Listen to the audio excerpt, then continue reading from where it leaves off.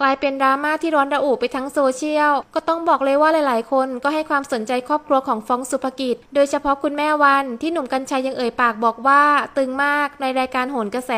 โดยชาวเน็ตบรรดาขาเผือกก็เข้าไปตามส่องพบว่า คุณแม่วันมีอาชีพกินเปอร์เซ็นต์จากเจ้ามือหวย รวมยังมีธุรกิจอีกนับไม่ถ้วน เช่นเบเกอรี่เสื้อผ้ามือสองร้านขายน้ำส่วนผลไม้และอื่นๆ อีกมากมาย นอกเหนือจากนี้ยังพบว่าคุณแม่วันยังเป็นดาวติ๊กตอกชอบเต้น cover อยู่บ่อยๆล่าสุดทางด้านคุณแม่วันโพสต์คลิปโชว์หน้าสดของตัวเอง หลังกลายเป็นคนดังชั่วข้ามคืน โดยงานนี้มีชาวเน็ตเข้ามาชมกันเพียบว่า ในหนกระแสดูสวยจัง พี่เขาสวยนะ ว่าไม่ได้เด้อแต่เราว่าสวยนะคะ ดูข่าวอยู่ค่ะ แต่เราก็ว่าคุณสวย คนเราบางทีถ่ายรูปแบบนั้นดูมีอายุ แต่ตัวจริงน่าจะเด็ก มันก็แอปทุกคนแหละ ขอติดตามนะคะ อีกทั้งคุณแม่ก็เข้ามาตอบกลับขอบคุณทุกคนที่เข้ามาคอมเมนต์ด้วย